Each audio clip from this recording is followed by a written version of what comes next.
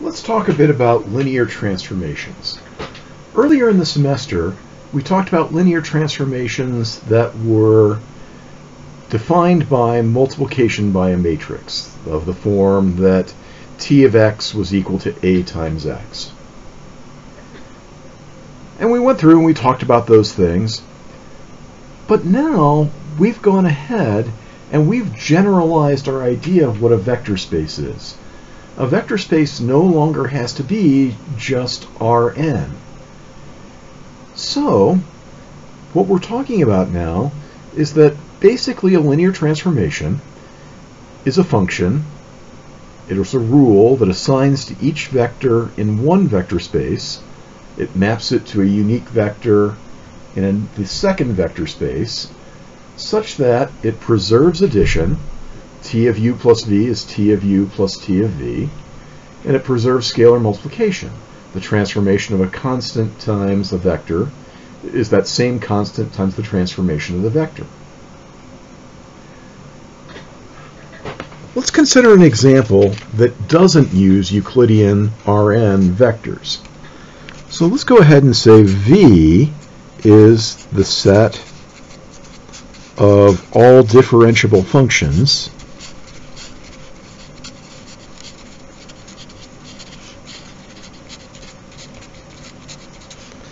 on an interval from a to b.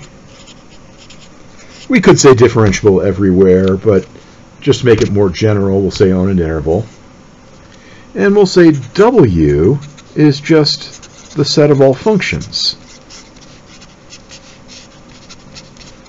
on that same interval a to b.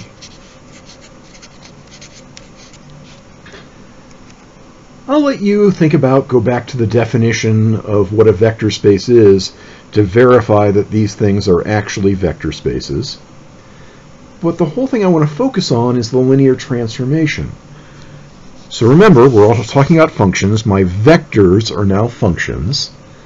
So if I take the transformation of a function f of x, I'm going to define that by the derivative of f of x. Since every function in v is differentiable, certainly taking the derivative is defined for anything that's in v. And let's think about these two properties. If I try to transform, if I try to take the derivative of a sum of two functions, that's the same thing as taking the derivative of each function separately and then adding them together. So, taking the derivative does preserve addition. Similarly, if I try and take the derivative of a constant times a function, that's the same thing as that constant times the derivative of the function. So, taking the derivative does preserve scalar multiplication.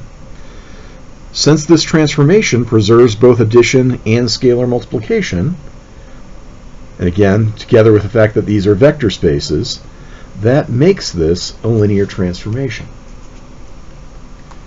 Now that we hopefully have some idea of how this linear transformation works, I want to think about two important sets. We call them the kernel and the range.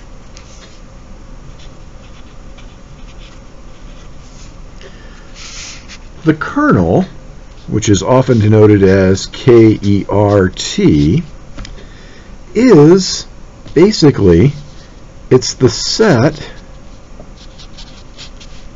of elements of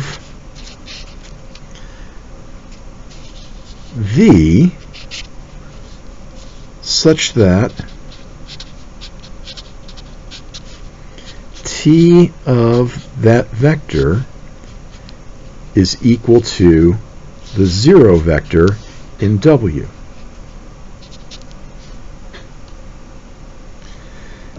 With regards to this particular linear transformation, what this is saying, this is the set of all differentiable functions such that when I take the derivative, I get the zero function.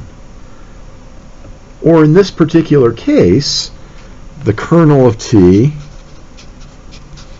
is the set of all functions that are constants.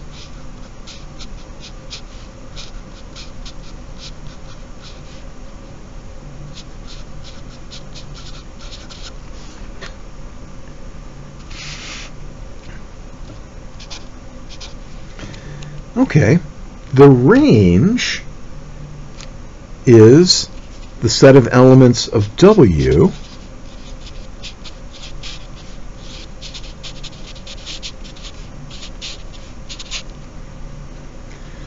such that there exists an element x of v uh, let's go ahead and say this is y in w such that there exists an element x of v with t of x equal to y.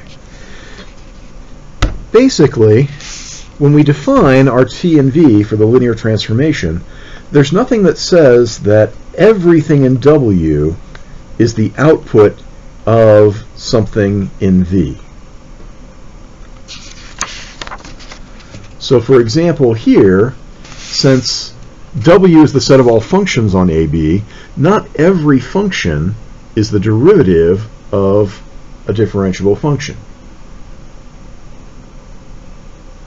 There's functions that are not continuous and things like that, such that they wouldn't be the derivative of a function. So, here we've got the set of elements that are actually hit. These are the set of functions that actually come out of the linear transformation.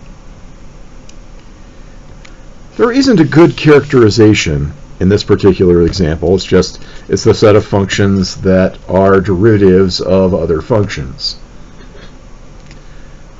Just one last comment here. If I were to go back to our first idea of a linear transformation, where I had t of x is equal to ax for some matrix A, the kernel of T is the same thing as the null space of that matrix A. And similarly, the range of T is the same thing as the column space of A. It's fairly easy to see that if we just think in terms of what we're doing here. The kernel of linear transformation is such things such that the transformation gives us the zero vector. Well, that's pretty much exactly what the kernel is, or the, the null space of A. The things that, when we multiplied by A, we got zero. So, really, in this particular case, the kernel and the null space are just different ways of saying the same thing. Now, the range in the column space, there's a little bit of a disjoint, uh, an extra step in there. But remember that when I take a matrix times a vector, I'm really getting a linear combination of the columns of A. So the outputs of AX are the set of all linear combinations of columns of A, which is exactly what the column space of A is.